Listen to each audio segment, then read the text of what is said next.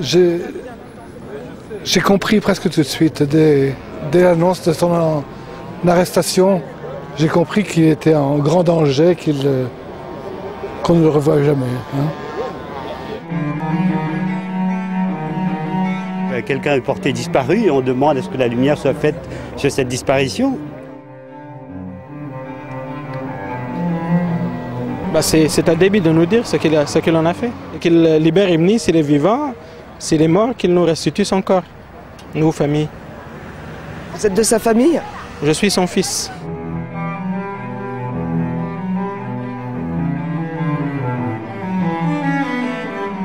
Je fais partie du, groupe de mathématiciens français qui a, lancé une pétition pour demander la, vérité sur, euh, sur son sort et on continue en demandant la, la vérité et la justice.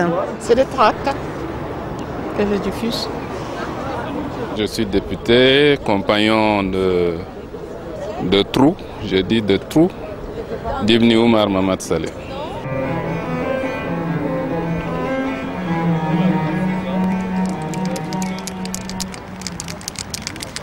C'était le bocal. C'était télé qui dit la vérité.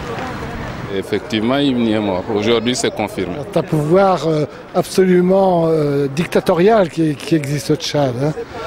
Malheureusement, euh, ce pouvoir est soutenu par le pouvoir français et par l'armée française qui est présente au Tchad.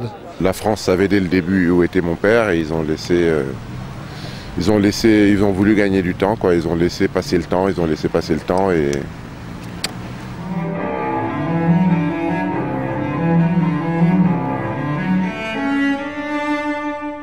l'État français savait ce qui s'était passé depuis au début. Quoi. Il est clair aussi que son sort a certainement été décidé au plus haut niveau au Tchad. A-t-il été exécuté? Est-il mort euh, des suites de ces tortures? Ça, Dieu seul le sait.